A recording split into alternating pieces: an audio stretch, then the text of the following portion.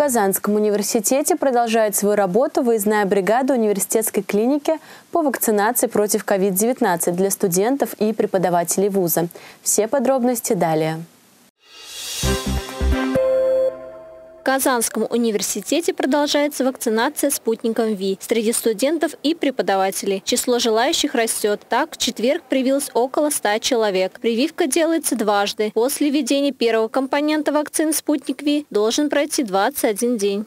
После вакцинации не нужно э, мочить прививку, переохлаждаться, перетруждаться, э, ходить в спортзалы, в бассейны – и не принимать спиртные напитки в течение трех дней, потому что организм и так нагружен, он работает, вырабатывает антитела. После прививки студенты поделились с нами, почему важно прививаться.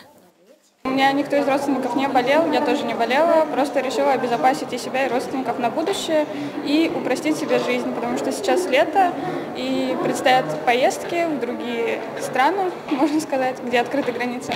Я думаю, ковид еще не закончился, нужно быть осторожным, поэтому важно как бы а, иммунитет поддерживать и возможности, получается, обезопасить себя. У меня родственники, получается, почти вся семья переболела.